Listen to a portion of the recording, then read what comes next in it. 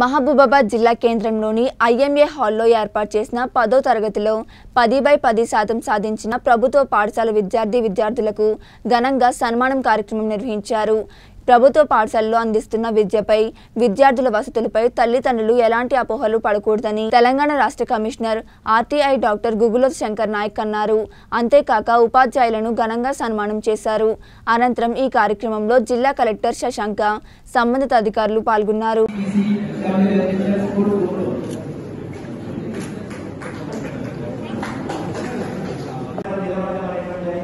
అదే క్రమంలో కేవలం ఇరవై స్థానం కాకుండా గతంలో ప్రభుత్వ పాఠశాలల్లో కూడా విద్యార్థులకు టెన్ బై టెన్ రావడం అనేటువంటిది చాలా తక్కువగా ఉండేటువంటిది. అలాంటిది ఈసారి కేవలం పాస్ అనేటువంటి ఈ దేశానికి ఒక స్ఫూర్తిదాయకంగా ఇవాళ ఏపీజే అబ్దుల్ కలాం గురించి కావచ్చు ఇవాళ స్వామి వివేకానంద గురించి కావచ్చు ఇవాళ మహాత్మా జ్యోతిరావు ఫులే గురించి కావచ్చు వాళ్ళ గురించి మనం ఎందుకు స్మరించుకుంటున్నాం అంటే వారు చేసిన సేవల్ని మనం కొనియాడాడుతున్నాం ఆ విధంగా మీరు కూడా మంచి చదువు చదివి మంచి ఉన్నతమైన స్థాయిలో ఎదిగి మీ ప్రభుత్వ పాఠశాలకు మీ తల్లిదండ్రులకు మీ గ్రామానికి మీ ప్రాంతానికి మంచి పేరు తీసుకురావాలంటే అది విద్యను కనుక మీరు ఆయుధంగా చేసుకొని అక్షరాన్ని కనుక మీరు ఆయుధంగా చేసుకొని మీరు చదువుకుంటే ఈ సమాజానికి ఒక ఆదర్శ దాయకులుగా నిలబడతారు.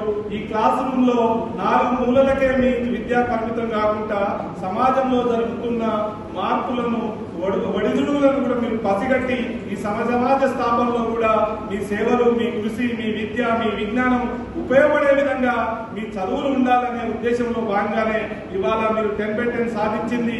కేవలం ఇది తొలిమెట్టు. దీన్ని స్ఫూర్తిగా తీసుకొని భవిష్యత్తులో మంచి ఉన్నతమైన స్థాయిలో ఎదిగి మంచి ఉన్నతమైన స్థాయిలో పేరు తెచ్చుకోవాలని మీ తల్లిదండ్రులకు మీ పాఠశాలకు గౌరవప్రదంగా ఆదర్శంగా నిలబడాలని మరొకసారి గుర్తు చేస్తూ ఈ కార్యక్రమంలో పిలువగానే వచ్చిన అతిథులకు అదేవిధంగా విద్యార్థిని విద్యార్థులకు తల్లిదండ్రులకు మరొకసారి మనస్ఫూర్తికంగా హృదయపూర్వకంగా శుభాకాంక్షలు అభినందనలు ధన్యవాదాలు తెలియజేస్తున్నా.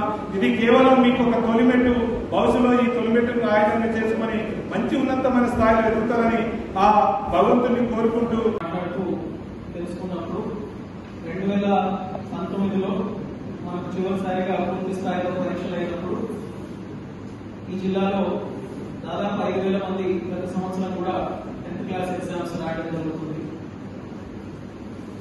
ఆ ఐదు వేల మందిలో ఏడుగురు మాత్రమే మనకు టెన్ బై టెన్ వచ్చింది రెండు వేల పంతొమ్మిదిలో.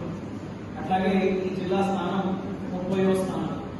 ముప్పై ఒక్క జిల్లాలలో అప్పటికి ముప్పై మూడు అనుకుంటారు ముప్పై మూడు జిల్లాలలో పంతొమ్మిది అంటే ముప్పై మూడు జిల్లాలు వచ్చేసేటప్పటికి ముప్పై మూడు జిల్లాలలో ముప్పై స్థానం. రెండు వేల ఇరవై రెండు వచ్చేసరికి ఏడు కాస్త ముప్పై మూడు అయింది.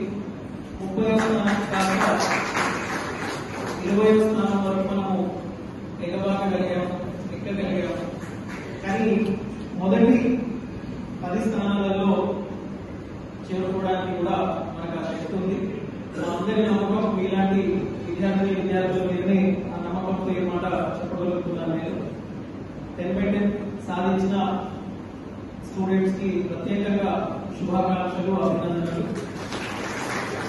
ఎందుకంటే ఇందాక యోగేష్ చెప్పినట్టుగా మీరు కేవలం మీ కుటుంబానికి మీ స్కూల్కే కాదు మీ మండలానికి ఈ జిల్లాకి కూడా చాలా ప్రేరణ ఇచ్చిన వాళ్ళు కాబట్టి